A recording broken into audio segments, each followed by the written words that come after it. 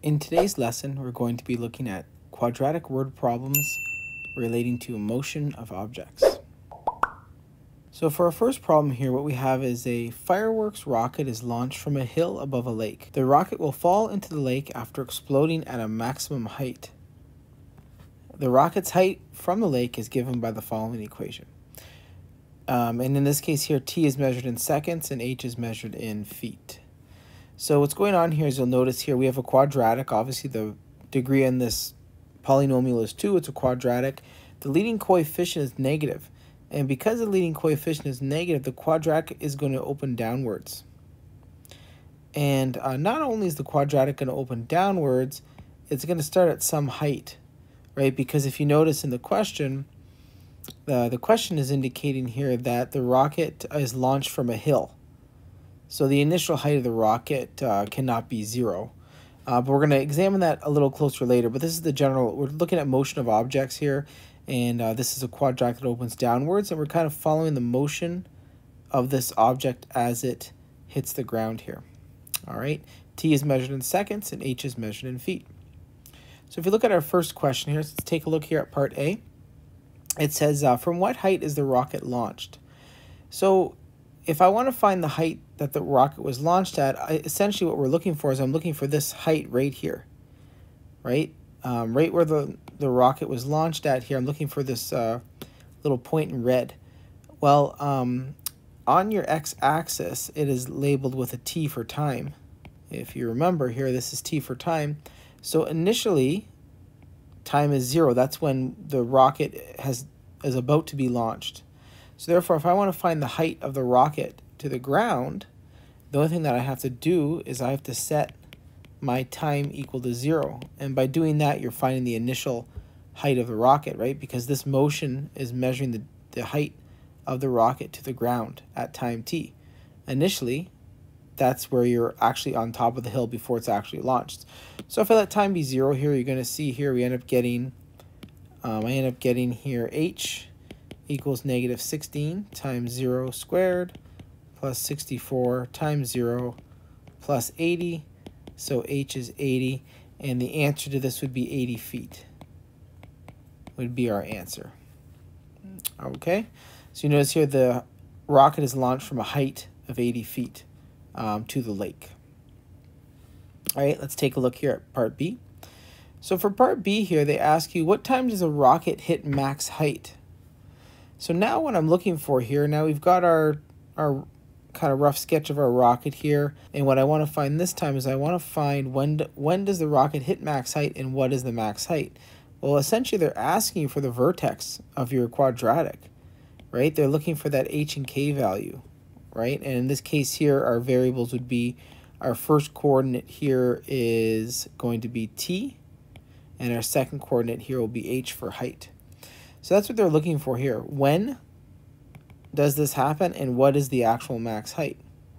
Well, I have a quadratic here. Let's take a look here. My quadratic is h equals negative 16 t squared plus 64t plus 80. If you notice here, I have a quadratic in standard form. If you have a quadratic in standard form, you want to go about finding the um, vertex here, you can just let t equal negative b over 2a. Um, and if you missed this proof here, or this uh, description here, I'll link something in the top right-hand corner if you want to check out how we discovered this was true. But anytime, again, just to remind you, if you do have a quadratic in standard form, the axis of symmetry, or the x-coordinate of the vertex, is always going to be negative b over 2a. So in this case here, my b value takes the place of 64, so this would be negative 64 over 2 times a is negative 16, in which case here we get negative 64 over negative 32 is going to be 2. So therefore, um, we already have part of the question answered. Well, when does the rocket hit max height? The rocket hits max height at 2 seconds. Right? So if I want to find out what the corresponding height is, I'm just going to sub that into my quadratic. So in this case here, the corresponding height at 2 seconds will give me what the max height is. So everywhere I see a t, I am changing that to a 2. And if you go ahead and calculate this, you get 144 feet. So the answer here is 144. So the rocket hits max height at 2 seconds, uh, and that max height is 144 feet. Okay, so that's part B. Let's take a look at part C. At what time does the rocket hit the ground? So in this case here, we've now, what do we have? We have our rocket here. I know that this is time. I know this is when time is zero. I know that this is 80. We've just found out that this point here is the point 2 in 144. And I want to go ahead and find out when does the rocket actually hit the ground. Uh, so there's several ways you can do this here. Let's take a look at our quadratic. Our quadratic here is h equals negative 16t plus 64t plus 80.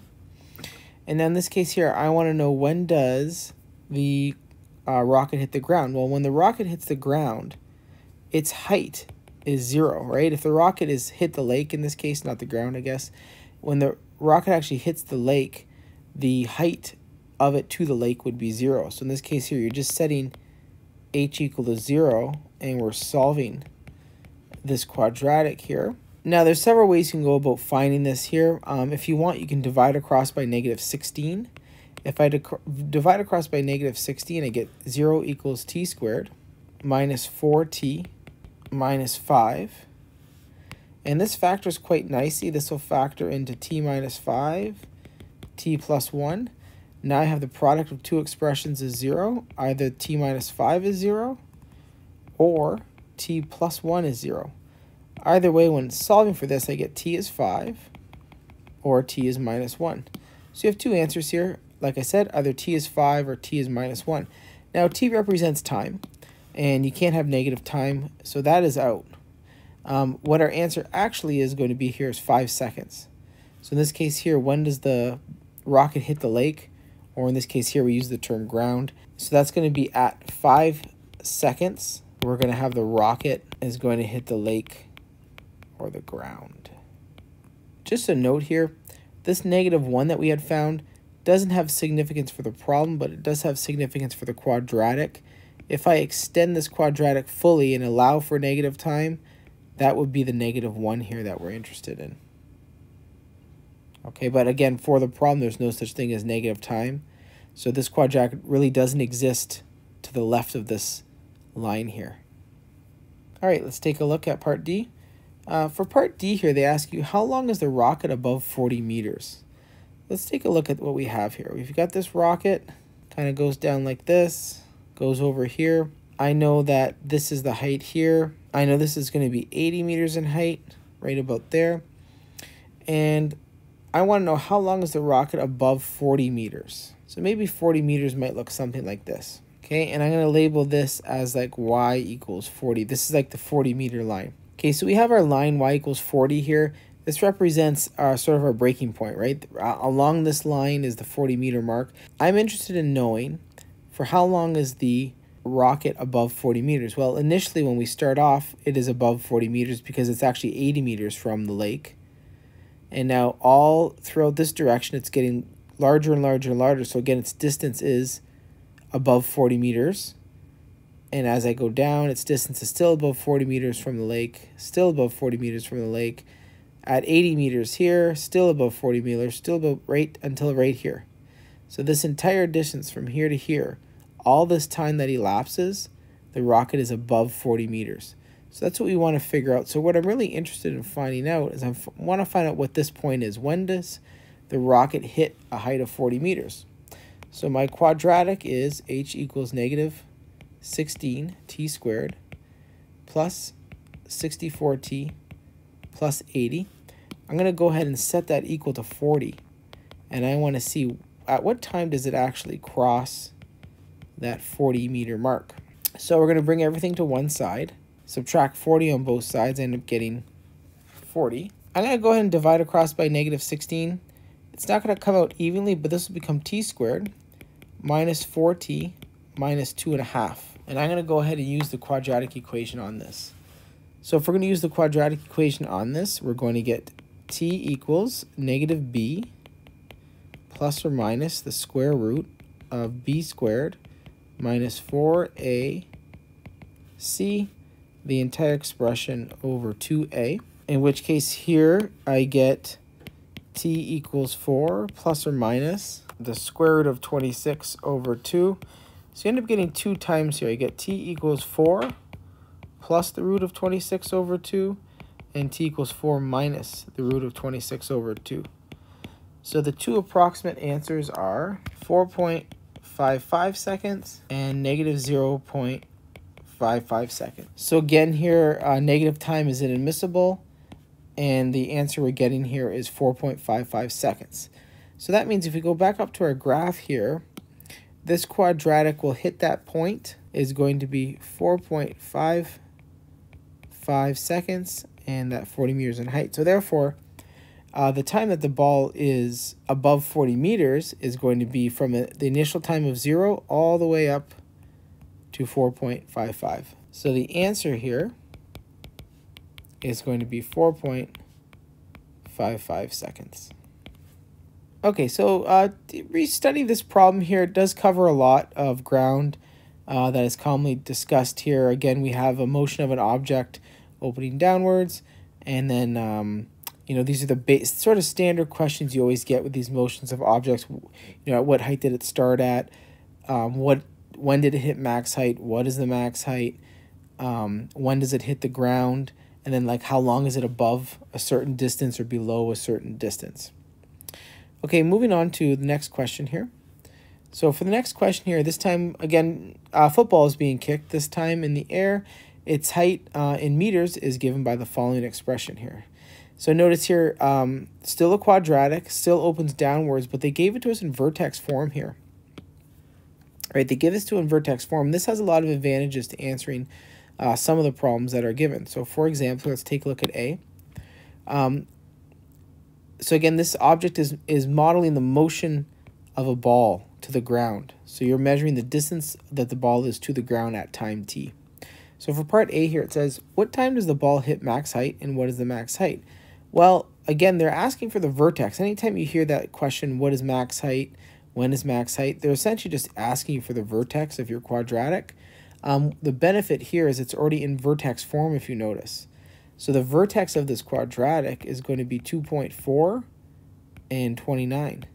So therefore, when does the ball hit max height? The ball is going to hit max height at 2.4 seconds.